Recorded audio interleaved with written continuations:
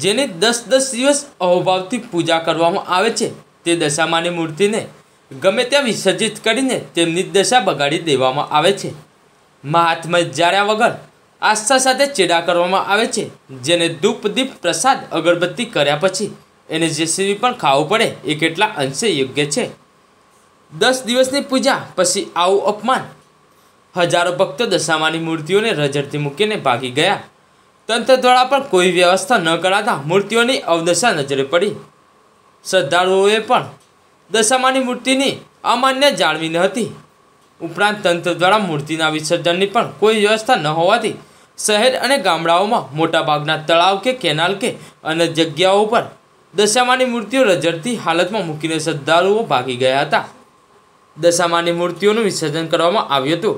આવી જ ગંદકીમાં દશામાની મૂર્તિઓ મૂકીને ભક્તો ચાલ્યા ગયા હતા.